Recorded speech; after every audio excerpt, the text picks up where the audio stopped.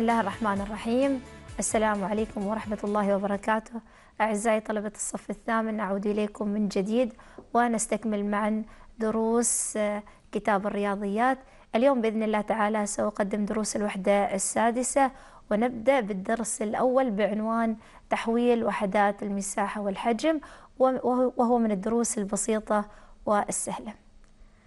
طبعا خلال هذا الدرس بإذن الله تعالى أو بعد أن أشرح وأقوم بشرح الدرس لكم ستتمكن عزيز الطالب من التحويل بين الوحدات المترية المختلفة للمساحة وبين الوحدات المترية للحجم كما سيمكنك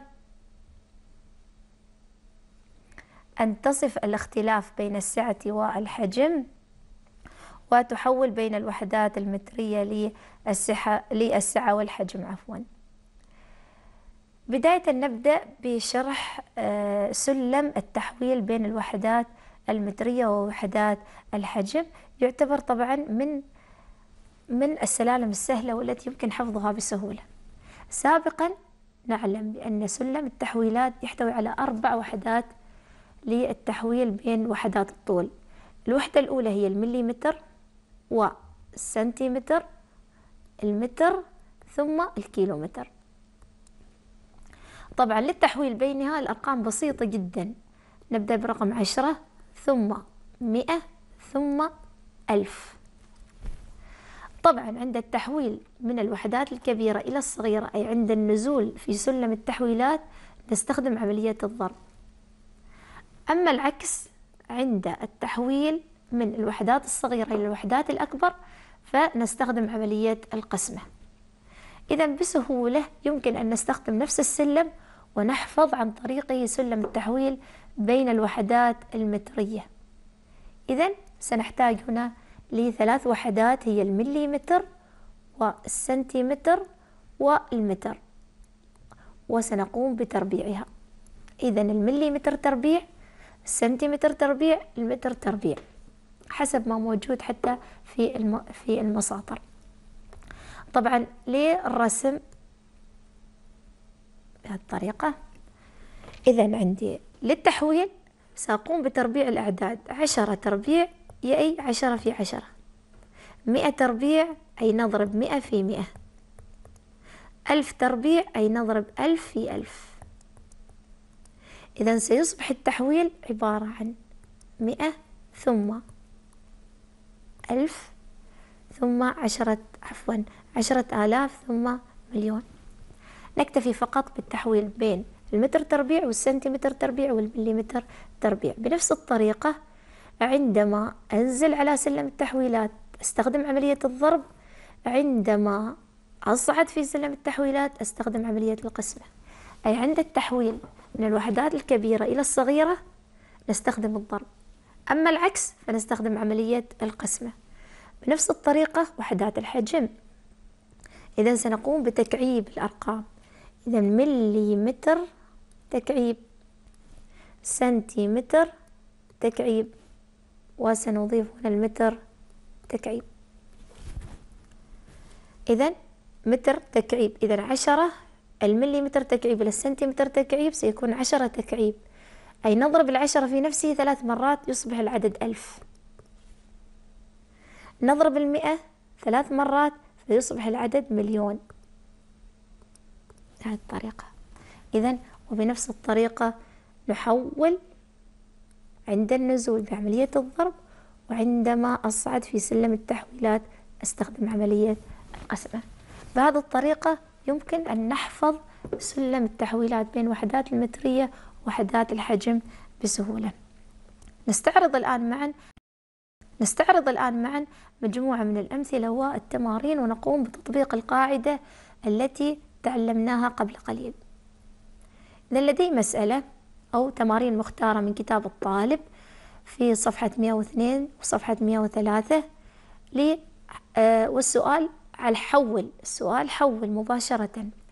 نريد أن نحول واحد وخمسة وستين من مئة متر تربيع إلى سنتيمتر تربيع.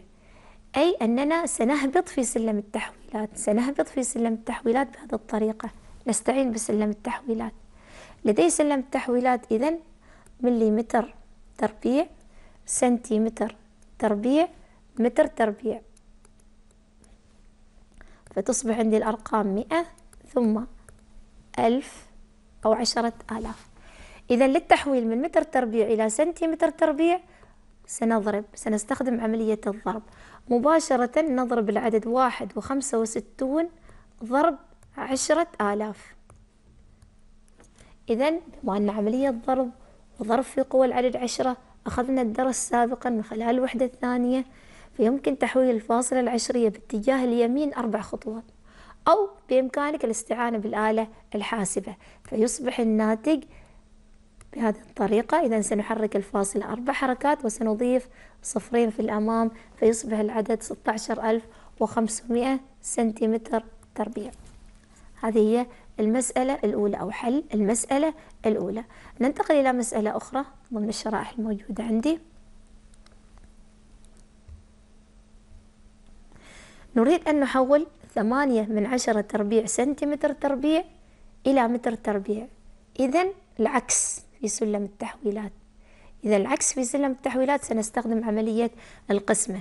ثمانية من عشرة تربيع تقسيم سنقسم على عشرة آلاف. نقسم على عشرة آلاف. يصبح العدد إذا سنحرك الفاصلة العشرية في اتجاه اليسار أربع خطوات أو أربع حركات. فيصبح الناتج ثمانية وخلف الثمانية أربعة أصفار. بهذه الطريقة متر تربيع.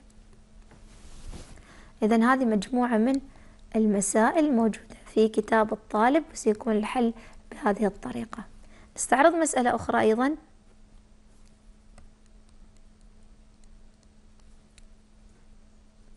أربعة من عشرة تربيع أو عفوا أربعة من عشرة سنتيمتر تكعيب إلى مليمتر تكعيب.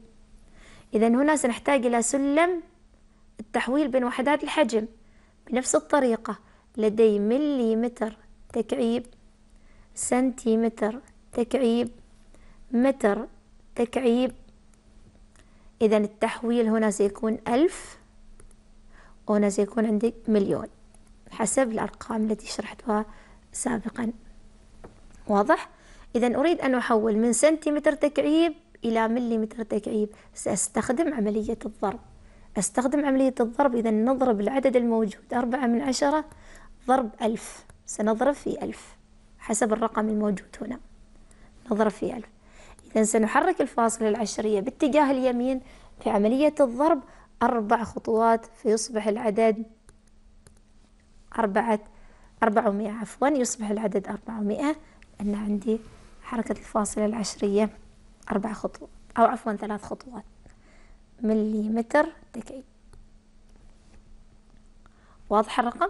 أو بهذه الطريقة نحل المسألة لدي مسألة أخرى. أربعة آلاف مليمتر تكعيب إلى سنتيمتر تكعيب. إذا بالعكس سنستخدم عملية القسمة. نستخدم عملية القسمة أربعة آلاف تقسيم إذا سنستخدم الألف ونحرك الفاصلة العشرية باتجاه اليسار فيصبح العدد أربعة سنتيمتر تكعيب هذه عمليات التحويل ونستعين بسلالم التحويل لحل المسائل بطريقة بسيطة وسهلة. نكمل الآن لدي مجموعة تمارين أخرى من كتاب الطالب بنفس الطريقة. سنقوم بحلها. حلا سريعا. إذا لدي هنا سأرسم معا اللي هو وحدات تحويل الحجم مليمتر تكعيب سنتيمتر تكعيب ومتر تكعيب. بنفس الطريقة هنا عندك. ألف وهنا مليون. أما سلم التحويل بين وحدات المترية الحجم إذا مليمتر تربيع. سنتيمتر تربيع آه متر تربيع. تكون الأرقام عبارة عن مئة ثم عشرة آلاف وهكذا إذا نريد أن نحول المسألة الأولى أربعة آلاف ومئتين سنتيمتر تربيع إلى متر تربيع بهذه الطريقة. إذا سنقسم أربعة آلاف ومئتين قسمة عشرة آلاف. قسمة عشرة آلاف يمكن أن نستعين بالآلة الحاسبة أو يمكن من خلال تحريك الفاصلة العشرية فيصبح العدد اثنان وأربعون من مئة. بنفس الطريقة عشرين مليمتر تربيع إلى سنتيمتر تربيع. إذا سنستخدم لعملية القسمة أيضا للتحويل. سنقسم عشرين مليمتر تربيع على مئة. فيصبح الناتج اثنين من مئة. أما المسألة الثالثة خمسة وسبعين متر تكعيب إلى سنتيمتر تكعيب بهذه الطريقة. إذن عند النزول أو عند التحويل من الوحدات الكبيرة إلى الصغيرة نستخدم عملية الضرب. إذا سنضرب العدد خمسة وسبعين في مليون. خمسة وسبعين طبعا. ونحرك الفاصلة العشرية في اتجاه اليمين. ست خطوات. إذا سنضيف أمام الخمسة والسبعين أربعة أصفار. سنتيمتر تكعيب هذا عندي مجموعة من التمارين المختارة من كتاب الطالب. مسائل تحويل مباشرة. ونستعين دائما برسم سلالم التحويل حتى تسهل عملية الحل.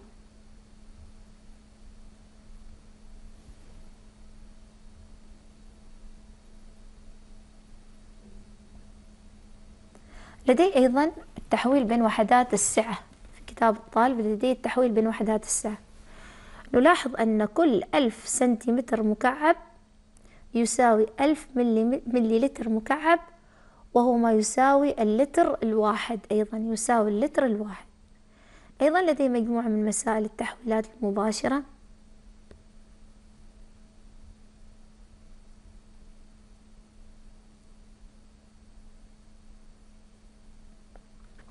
مسائل مختارة من كتاب الطالب في صفحة 103 في التمرين الثالث.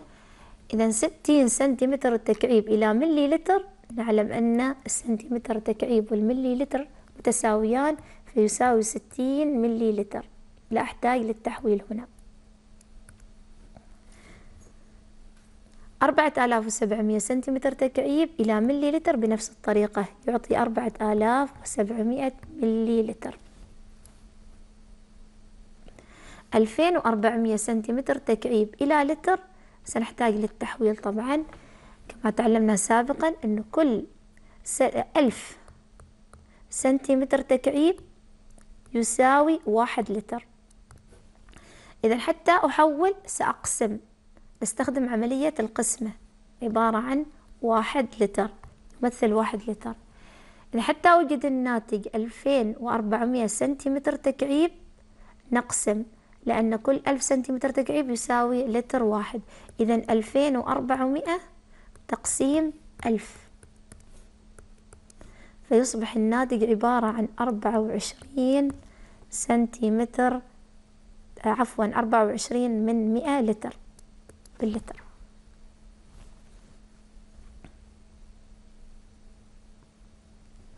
إذا لدي أيضا ثلاثة لتر إلى سنتيمتر تكعيب سيكون العكس. ثلاثة لتر إلى سنتيمتر تكعيب سنستخدم عملية الضرب.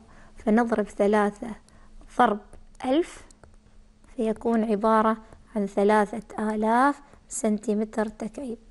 إذا عند التحويل بين وحدات السعة آه، وحدات السعة عفوا لدي فقط وحدة اللتر ووحدة السنتيمتر تكعيب ووحدة الملي لتر.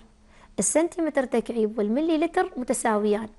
دائما إذا أعطاك المسألة بالسنتيمتر تكعيب فهي تساوي بالملي لتر بالملي لتر أما نحتاج للتحويل إذا كان من ملي لتر إلى لتر أو من سنتيمتر تكعيب إلى لتر فقط. هذا ما نحتاج للتحويل في وحدات السعة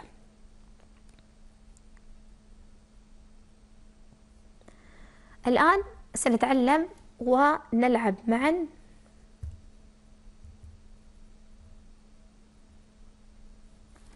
رحلة البحث عن الكنز. طبعا سنحاول الإجابة على جميع الأسئلة للحصول على الكنز مثلما شرحت سابقا كيفية التحويل بين وحدات المساحة ووحدات الحجم. نبدأ بالمرحلة الأولى.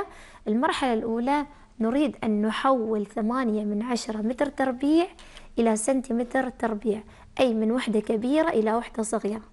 فماذا سنستخدم؟ سنستخدم عملية الضرب. إذا لدي خيارين. الخيار الأول ثمانية من عشرة آلاف والخيار الثاني ثمانية آلاف. نعلم أن عملية الضرب عملية الضرب هي التي تزيد الأصفار أمام العدد. إذا ستكون الإجابة ثمانية آلاف. رائع عزيز الطالب. الآن بإمكاننا أن ننتقل إلى المرحلة الثانية للحصول على الكنز. إذا المرحلة الثانية حول أيضا 480 ألف سنتيمتر تكعيب إلى متر تكعيب. إذا المسألة تحويل من سنتيمتر تكعيب إلى متر تكعيب من وحدة صغيرة إلى وحدة أكبر منها. إذا سأحتاج إلى عملية القسمة. نقسم على كم؟ إذا أنا لدي هنا الوحدات المكعبة. الوحدات المكعبة إذا سنقسم على مليون. سنقسم على مليون. على عدد يحتوي على ستة أصفار.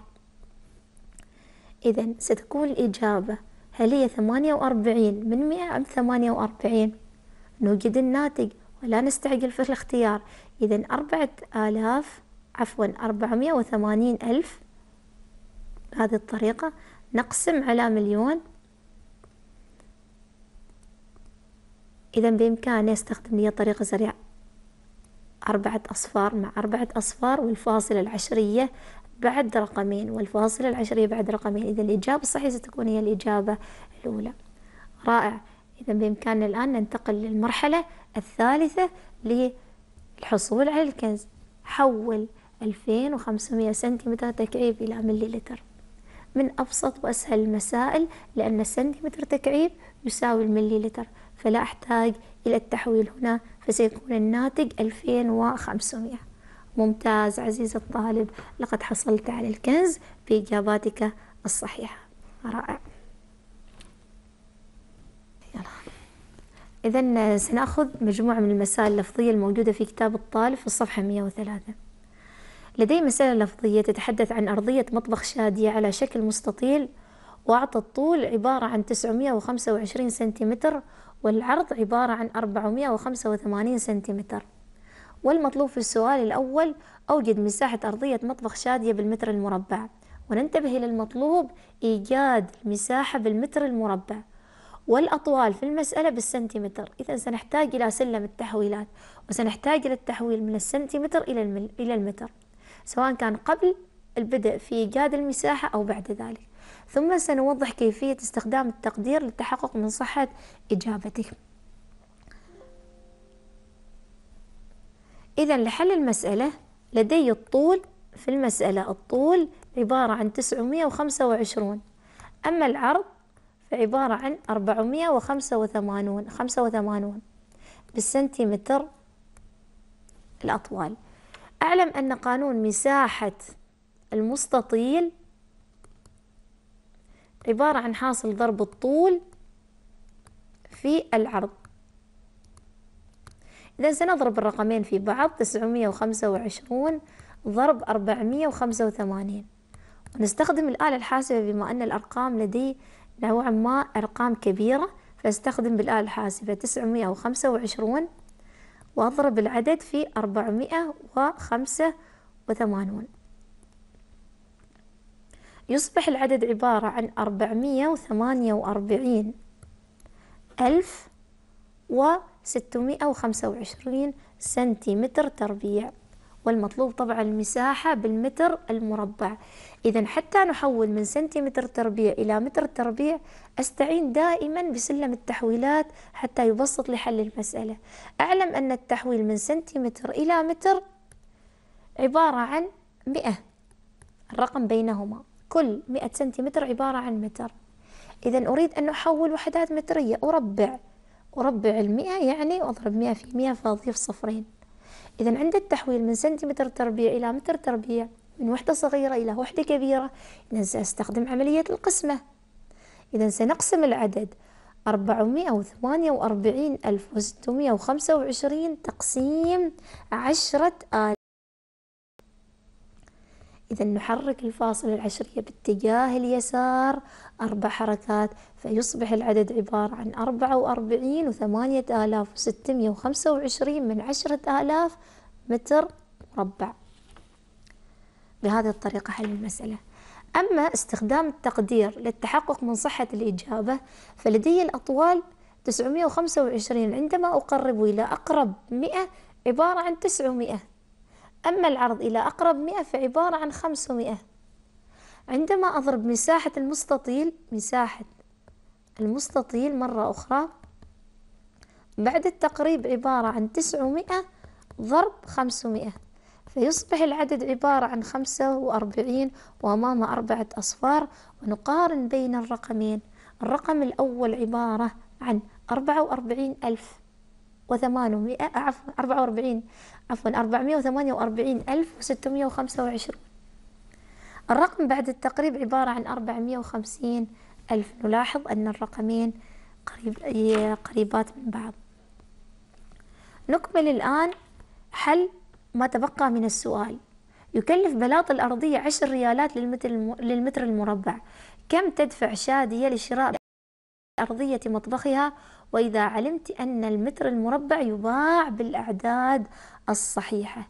إذا نريد أن نقرب. بعد أن نوجد الناتج نقرب. إذا حتى أوجد التكلفة التكلفة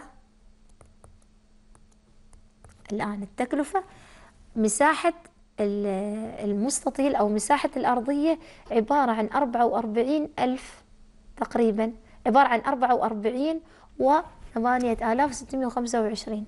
وقربها تقريبا عبارة عن كم؟ عندما ننظر إلى الثمانية من فئة الأعداد الكريمة يعطي الأربعة واحد فسيصبح العدد تقريبا خمسة وأربعون متر مربع. إذا التكلفة ستكون عبارة عن حاصل خمسة وأربعين ضرب عشرة ريالات لأن المتر الواحد يكلف عشرة ريالات. إذا ستدفع شادية أربعمائة وخمسون ريالا ثمنا لشراء البلاط لأرضية المطبخ. هذه هي المسألة الموجودة في كتاب الطالب.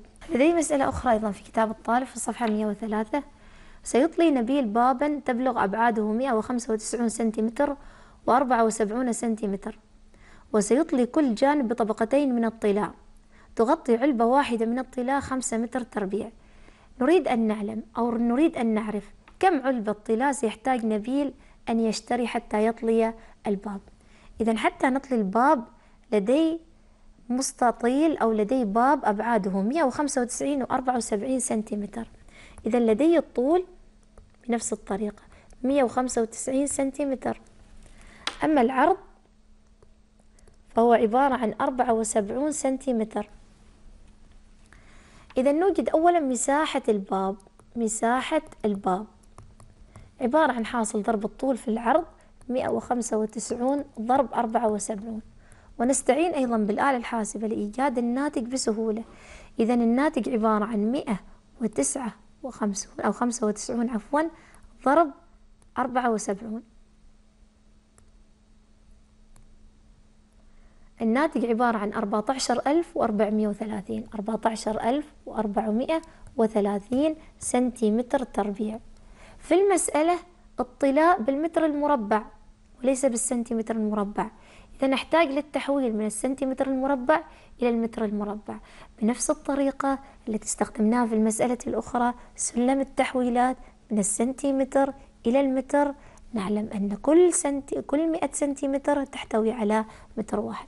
إذا نريد أن أحول وحدات مترية مربعة إذا سنقسم على عشرة آلاف. فيصبح الناتج مساحة الباب مرة أخرى لكن هذه المرة بالمتر المربع عبارة عن أربعة عشر ألف وأربعمائة وثلاثين تقسيم عشرة آلاف. سنحرك الفاصلة العشرية في اتجاه اليسار أربع حركات. إذا يصبح الناتج واحد وأربعمائة عفوا وأربعمائة وثلاثة وأربعين متر مربع. هذه بالنسبة لمساحة الباب بالمتر المربع.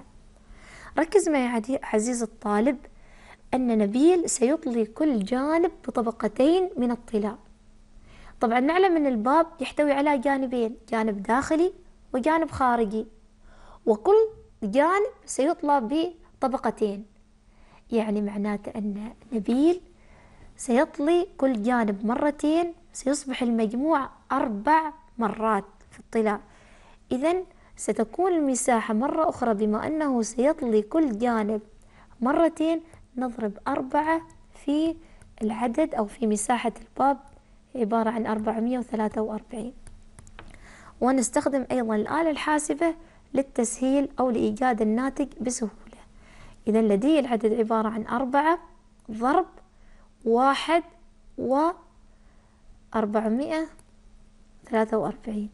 يصبح الناتج عبارة عن خمسة وسبعمائة واثنان وسبعون متر مربع إذا مثل ما نلاحظ أن علبة الطلاء الواحدة تكفي لخمسة متر مربع وظهرت لدي المساحة الآن عبارة عن خمسة وسبعمائة واثنين وسبعين إذا كم سيحتاج نبيل لطلاء الباب؟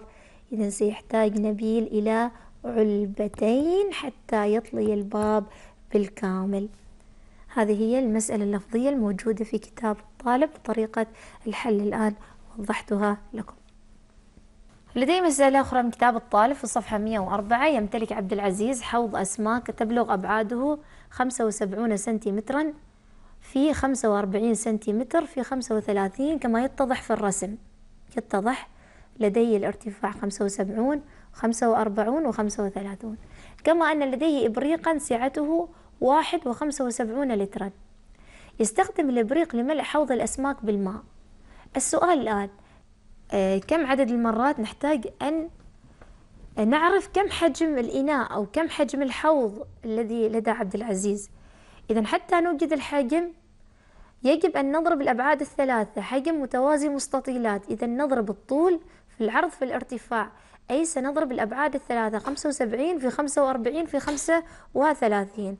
إذا في البداية سنوجد حجم حجم الحوض حجم الحوض عبارة عن حاصل ضرب خمسة وسبعين في خمسة وثلاثين في خمسة وأربعين وسنستخدم الآلة الحاسبة لإيجاد الناتج. إذا لدي الآلة الحاسبة خمسة وسبعين ضرب خمسة وثلاثين.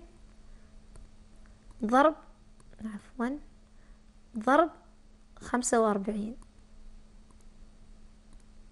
يصبح الناتج عبارة عن مية وثمانية عشر ألف ومئة وخمسة وعشرين سنتيمتر تكعيب أعود مرة أخرى لقراءة المسألة. يستخدم كما أن لديه إبريقا سعته واحد ونص لتر. نلاحظ أن الوحدة المستخدمة هنا لتر. إذا أحتاج للتحويل من سنتيمتر تكعيب إلى لتر.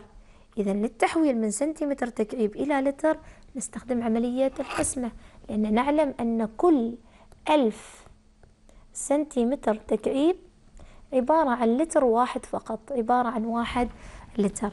إذا سنقسم الناتج نوجد حجم الحوض الآن باللتر. حجم الحوض باللتر. نقسم الناتج مية وثمانية عشر ألف ومئة وخمسة وعشرين تقسيم ألف. إذا نحرك الفاصل العشري في اتجاه اليسار ثلاث خطوات أو بإمكانك الاستعانة بالآلة الحاسبة. إذا يصبح الناتج عبارة عن مئة وثمانية عشر وعشرين من ألف لتر. هذه حجم الحوض باللتر. إذا كم عدد المرات إذا كانت سعة الإناء الذي يستخدمه يستخدمه عبد العزيز عبارة عن واحد وخمسة وسبعين من مئة لتر؟ نقسم نستخدم عملية القسمة لإيجاد عدد المرات. كم مرة سيأتي بي الإبريق حتى يملأ الحوض بالماء؟ إذا لدي الحجم بالكامل ولدي حجم الإناء مرة واحدة فأستخدم عملية القسمة. أقسم العدد أقسم العدد على حجم الإناء. حجم الإناء إذا واحد وخمسة وسبعين. إذا عدد المرات عدد المرات التي يحتاجها عبد العزيز نقسم الحجم بوحدة اللتر على حجم أو سعة الإناء واحد وخمسة وسبعين وسنستعين أيضا بالآلة الحاسبة لإيجاد الناتج. إذا لدي الناتج واحد. نكتب الناتج من اليسار إلى اليمين في الآلة الحاسبة. ونقسم على واحد فاصل خمسة وسبعين يطلع يحتاج عبد العبد العزيز إلى سبعة وستين ونصف مرة حتى يملأ الحوض بأكمله بالماء. هذا بالنسبة لأسئلة درس التحويل. بذلك نصل أعزائي الطلبة إلى نهاية درس التحويل بين الوحدات المترية. استعرضت فيه مجموعة من المسائل المختلفة آه، للتحويل بين الوحدات المترية ومجموعة من المسائل اللفظية لاستخدام سلالم التحويل بين وحدات المترية أو وحدات الحجم أو وحدات السعة. إذا عزيزي الطالب بذلك نكون قد استعرضنا الدرس الأول من الوحدة السادسة التحويل بين وحدات المساحة والتحويل بين وحدات الحجم والتحويل بين وحدات السعة. استعرضنا فيه مجموعة من مسائل التحويل المباشرة كما استعرضنا فيه مجموعة من مسائل اللفظية وطريقة حلها وكيف نستفيد من سلالم التحويل في التحويل بين الوحدات المترية. إذا نلتقي مجددا في درس آخر من دروس الوحدة السادسة. لقاء يتجدد بإذن الله.